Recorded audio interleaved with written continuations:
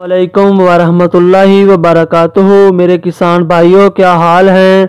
अल्लाह से उम्मीद है कि आप सेहत और ईमान की बेहतरीन हालतों में होंगे। आज की इस वीडियो में मैं आपको एक ऐसी फ़सल के बारे में बताना चाहता हूँ, जिसमें बहुत ज़्यादा मुनाफा है। आज हम बात करेंगे अदरक की काश्त के बारे में। अदरक का इस्तेमाल हमारी रोज़मर्रा ज़िंदगी में हम सब अच्छे तरीके से जानते हैं। अदरक की काश्त का वक्त कौन सा है? किस किस्म की ज़मीनों में इसको काश्त करें? बीज कैसा होना चाहिए? और एक एकड़ में इसकी कितनी मकदार की ज़रूरत होती है? इसको लगाने के लिए ज़मीन और आबो हवा कौन सी मौजू है? और कितने दिनों में ये फ़सल पक कर तैयार हो जाती है? और इसमें से जड़ी बूटियाँ कैसे साफ़ करेंगे, ये मुकम्मल मालूम दूँगा। मैं आपको आज की इस वीडियो में, अगर आप मेरे चैनल पर न्यू हैं तो मेरे चैनल को सब्सक्राइब कर दें और साथ में घंटी के निशान को दबाकर आल पर कर दें, ताकि मेरी हर न्यू वीडियो का नोटिफिकेशन आपको मिल जाए सबसे पहले। चलो दोस्तों, अब हम अदरक की काश्त के बारे में बात करते हैं। अगर हम अदरक की काश्त के मौसम की बात करें तो ये मार्च से लेकर अप्रैल के आखिर तक काश्त हो सकती है।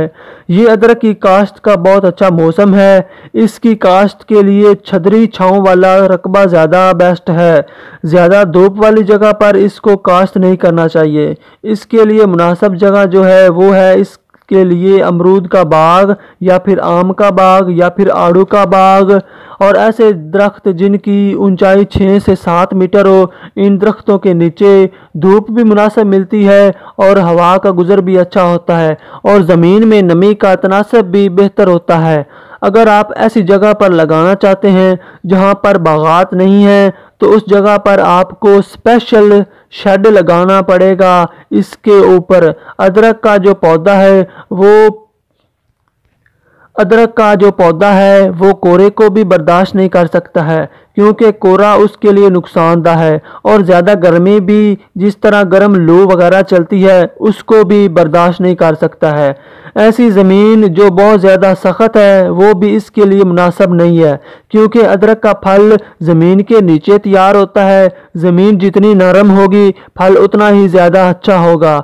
अब इसके बीज की बात करते हैं। एक एकड़ में इसका बीज कितना चाहिए होता है? तकरीबन 600 से 700 किलोग्राम अदरक की काश्त के लिए। और इसके अलावा अदरक का जो बीज है, वो हमेशा पक्की हुई अदरक का इस्तेमाल वो हमेशा पकी हुई अदरक का इस्तेमाल करें। के लिए जिसका छिलका बहुत सख्त हो, कच्ची अदरक का बीज के लिए इस्तेमाल ना करें। इसके बीज को लगाने से पहले इसके बीज को छोटे छोटे टुकड़ों में तकसीम करें, तकरीबन 25 से 30 ग्राम तक। इसको कास्ट करने से पहले इसकी फूट जो है, वो बहुत ज़्यादा ज़रूरी है। इसको लकड़ी का जो बूरा होता है उसकी तीन चार इंच की लेयर बनाएँ बूरे के अंदर उसको दबा दें उसके ऊपर दूसरे तीसरे दिन पानी का छिड़काव रखें ताकि नमी बरकरार रहे और फिर छः से सात दिन के बाद देखेंगे उसकी आँखें जो हैं और उसके जो बर्ड्स हैं मुकम्मल तौर पर उनमें से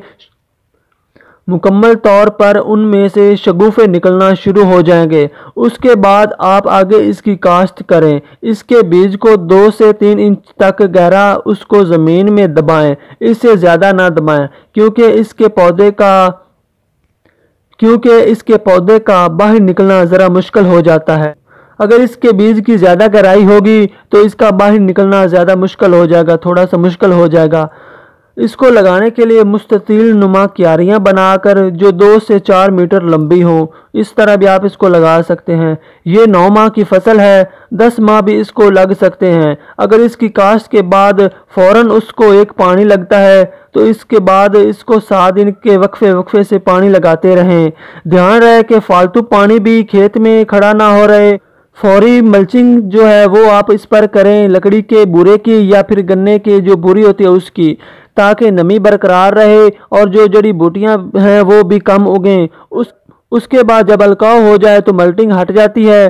तो बरसात का मौसम शुरू होते ही इसकी जड़ी बूटियों के लिए गोडी कर दें। अगर आपको मेरी वीडियो पसंद आई है तो मेरे चैनल को सब्सक्राइब कर दें और साथ में घंटी के निशान को दबाकर ऑल पर कर दें, ताकि मेरी हर न्यू वीडियो का नोटिफिकेशन आपको मिल जाए सबसे पहले। मैं ऐसी इन्फॉर्मेशन वाली और मुनाफा बख्श वीडियो अपने चैनल पर लाता रहता हूँ। अगर आपको मेरी वीडियो पसंद आती है तो इसको दोस्तों के साथ भी शेयर करें और मेरे चैनल को भी सब्सक्राइब करें।